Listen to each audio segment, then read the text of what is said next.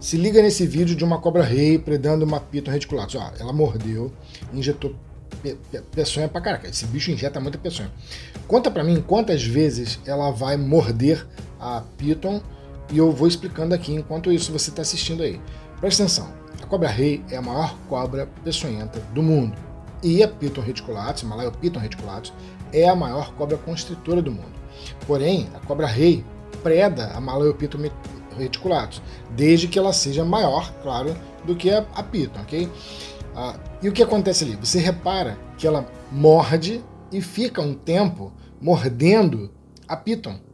E isso injetando peçonha. Olha, quero lembrar que a cobra rei é a cobra que mais injeta peçonha. E ela morde várias e várias vezes. Veja, as pitons são cobras extremamente fortes, cara, extremamente poderosas. E elas poderiam sim fazer a constrição da cobra-rei. Existe aí a foto mostrando o que aconteceu uma vez.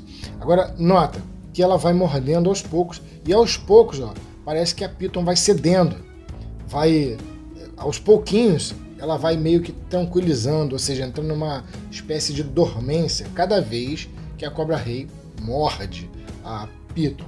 Vocês contaram quantas vezes ela mordeu? Eu quero ver aqui no final quantas vezes ela conseguiu morder a Piton reticulatus.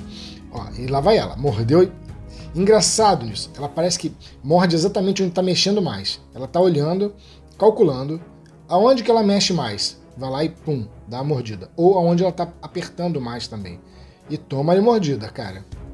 Meu irmão, que vídeo épico, que batalha linda, meu irmão. De um lado você tem a maior cobra peçonhenta do mundo e do outro a maior cobra constritora do mundo. Claro que tava meio roubado aí, né? Porque a maior cobra peçonhenta do mundo era muito maior do que a maior cobra constritora do mundo, né? Porque, olha, diga-se de passagem ali, né?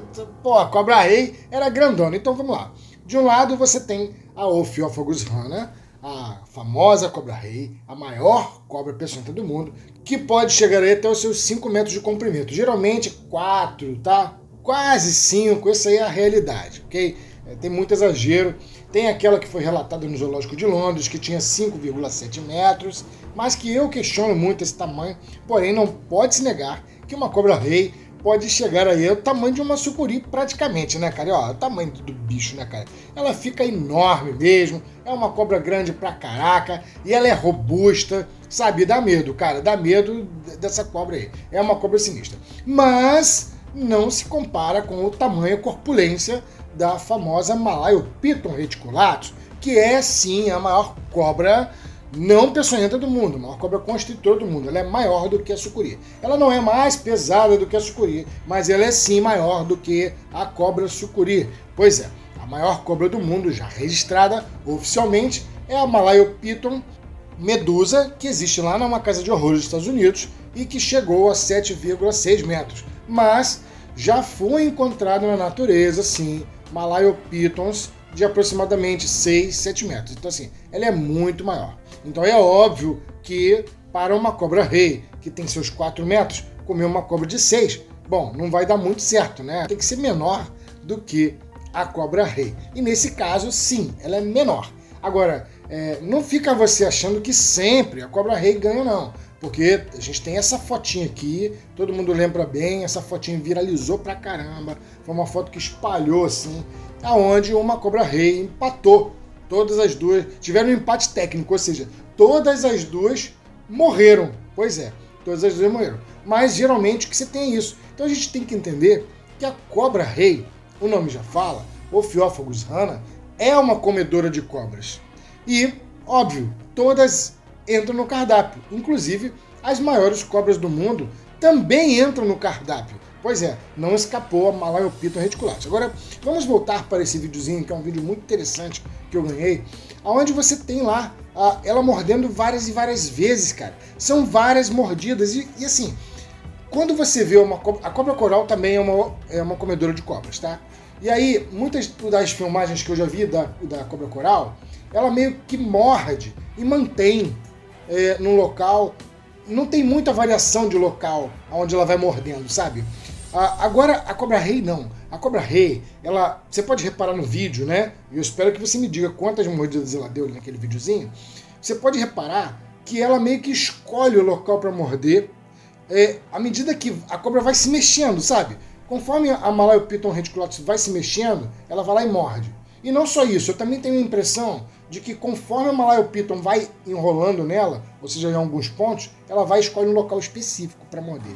Cara, eu já vi vários vídeos de cobra rei predando, e sim, ela preda sim. Tem vídeo aqui que ela tá segurando a cobra, aí a cobra consegue sair para morder de volta a, a a cobra rei, e aí ela vai simplesmente solta daquele local e morde no outro, cara. É impressionante, cara. A cobra rei, a cobra rei realmente é uma cobra muito sinistra e parece mesmo que ela, assim, escolhe a maneira de predar. Ela parece escolher.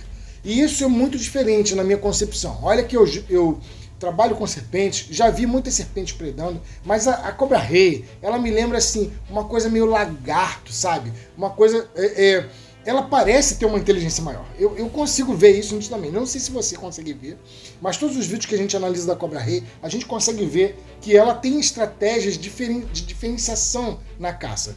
É, você vai entender o que eu estou falando quando a gente começa a analisar, por exemplo, a predação de uma sucuri. Uma predação onde é um animal que é ritualístico. Ou seja, ela vai lá, pega, se enrola, ou uma jiboia faz a mesma coisa, pega, se enrola. Você às vezes mexe nela, né?